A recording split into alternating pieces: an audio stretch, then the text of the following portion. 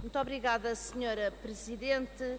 Senhora Deputada Clara Marques Mendes.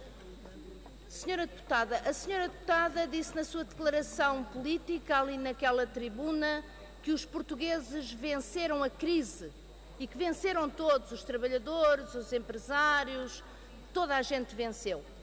Senhora Deputada, não posso deixar de referir este aspecto porque me parece demasiado grave para uma deputada do partido da maioria afirmar que todos venceram a crise num país em que continuamos a ter um número tão elevado de desempregados e desempregadas, ou já os esquecemos?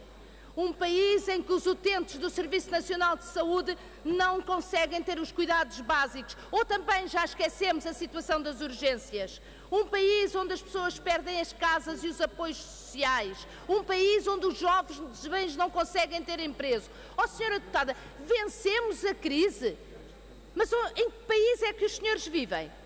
E diz a senhora deputada que a Grécia propõe-se agora fazer o que Portugal já fez. Nada mais errado, senhora deputada, nada mais errado. A Grécia está a fazer, de facto, aquilo que Portugal nunca fez. Aquilo que Portugal nunca fez. Em primeiro lugar, entra no Eurogrupo, entra nas reuniões do Eurogrupo de cabeça levantada. Tem uma voz ativa, uma voz ativa na defesa do seu país e do seu povo, senhora deputada, coisa que Portugal nunca fez, porque o governo deste país, o governo deste país nunca no Eurogrupo levantou a voz, a voz contra aquilo que fosse.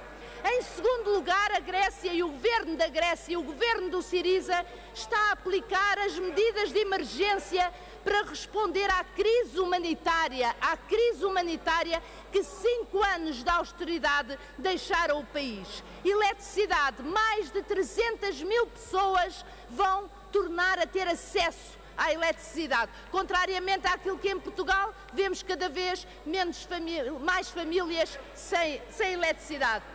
Mas tenham calma, senhores deputados. Saúde. Os desempregados vão passar a ter acesso ao Serviço Nacional de Saúde, contrariamente àquilo que existia. E sim, senhora deputada, pararam, pararam as privatizações. Portanto, senhora deputada, não faça comparações, não faça comparações, tenha calma, tenha calma, porque todos temos muita calma para ver como é que vai ser o processo na Grécia.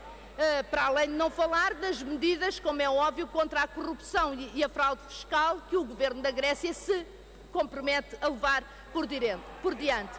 Mas a questão fundamental e que é o traço, o traço de todo o seu discurso é um, senhora deputada, é que o PSD e o CDS querem utilizar a Grécia e estão quase que a fazer votos para que tudo corra mal na Grécia. Para quê, senhora deputada? Para mostrar que a vossa política é única e não existe alternativa. Queira concluir, Ora, senhora deputada está, uh, Helena Pinto. Lição, faz favor. E vou concluir, senhora Presidente. A lição que é possível tirar hoje é que há alternativa à política da austeridade e isso o governo da Queira Grécia concluir, está a. E é isso que vos custa muito a aceitar.